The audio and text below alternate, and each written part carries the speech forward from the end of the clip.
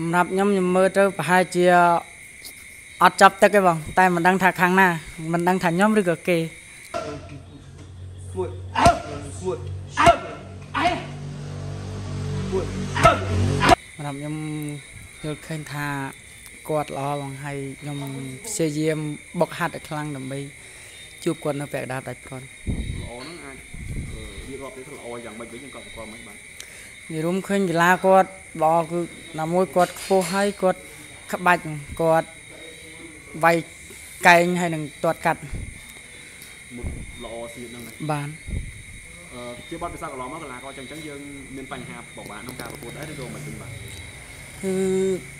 មានដែរបងមានបញ្ហាព្រោះអីយើងពិបាកចូលវាយគាត់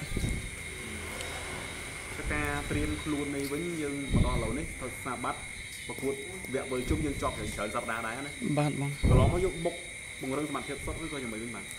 គឺបុកពង្រឹងសមត្ថភាពបងអាយសម្រាប់ខ្ញុំគឺខ្ញុំផ្ដោតខ្លាំងបងព្រោះអីវគ្គនេះគឺជាវគ្គសំខាន់បងបើមិនយើងគេអញ្ចឹងយើងត្រូវការវឹកហាត់ឲ្យខ្លាំងបងសម្រាប់ខ្ញុំបើឆ្លងផុតគាត់គឺខ្ញុំមានសង្ឃឹមច្រើនបង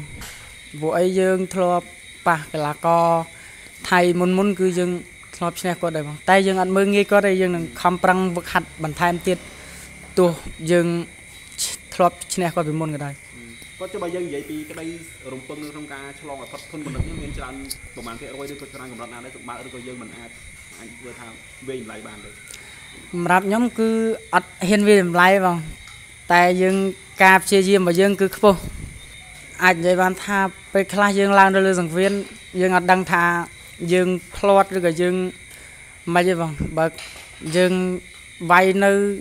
ទល់មុខបាន5ទឹកឬក៏យើងអាចនឹងផ្ដួលគេឬគេផ្ដួលយើងយើងមើលអត់ឃើញបងសម្រាប់ខ្ញុំគឺខ្ញុំត្រៀមអស់ពីសមត្ថភាពហើយបងពេលឡើងទៅគឺអស់ពីសមត្ថភាពសម្រាប់ខ្ញុំគឺតានតឹងបងព្រោះអីយើងអាចថាគេត្រៀមខ្លួនល្អយើងក៏ត្រៀមខ្លួនល្អដូចគ្នាអញ្ចឹងតានតឹងវគ្គហ្នឹងលោកគ្រូគាត់ គាត់ផ្ដល់យុទ្ធសាស្ត្រច្រើនហ្មងហើយនឹងពង្រឹងសមត្ថភាពយើងបុកហាត់ឲ្យខ្លាំងសម្បត្តិអត់ធ្មត់ខ្លាំងសម្រាប់ការត្រៀមខ្លួននេះមែនទែនមើលទៅបាទហ្មងហើយហ្នឹងហើយបងការប្រកួតមួយនេះខ្ញុំអត់ធ្មត់ច្រើនហ្មងទាំងការហាត់ហើយនឹងលុតដំពីលោកគ្រូការចូលស៊ីបហើយនឹងតាំងចិត្តព្យាយាមថានឹងធ្វើឲ្យបានហ្មងមើលទៅសម្រាប់ខ្ញុំខ្ញុំមើលទៅប្រហែលជាអត់ចាប់ទឹកទេបង តែមិនដឹងថាខាងណាមិនដឹងថាខ្ញុំឬក៏គេចឹង មានតែដូចថាតែចិត្តសម្បត្តិខ្លួនឯងចង់ឲ្យការប្រកួតនេះឈ្នះចាញ់ដោយដែលថាសុក្រិតហ្មងណាដោយក្រាត់ហ្មងបងអត់មានដែលលក្ខណៈថាវាតានតឹងឬក៏ញ៉ៃញ៉ៃដូចកាលពីប្រកួតវគ្គដំបូងមួយទួនពេសម្រាប់ខ្ញុំគឺការប្រកួតមួយនេះខ្ញុំសង្ឃឹមថា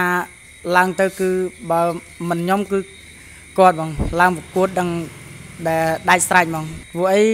កីឡាចាញ់ឈ្នះយើងមើលឃើញហ្មងបើគាត់ឈ្នះគឺយើងអស់បើយើងឈ្នះគឺយើងអស់ដែរបងព្រោះអីយើងខ្មែរដូចគ្នាហើយណាមួយយើងឡើងមកដល់វគ្គនេះគឺចង់ឈ្នះដូចគ្នាហ្មងហ្នឹងហើយបងជាចុងក្រោយខ្ញុំបដិញ្ញាចិត្តថាខ្ញុំនឹងខំប្រឹងអស់ពីសមត្ថភាពនៅលើសង្វៀនបងហើយសូមអរគុណដល់បងប្អូនដែលតែងតែគ្រប់គ្រងនិងផ្ដល់កម្លាំងចិត្ត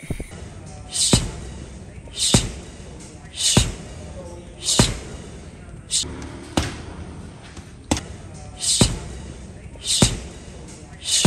ូមអរគុណច្រើនប្រិយមិត្តដែលបានតាមដានទស្សនាប្រសិនបើបងប្អូនចូលចិត្តសូមកុំភ្លេចជួយចុច Subscribe ដើម្បីទទួលបានវីដេអូថ្មីៗបន្ថែមទៀត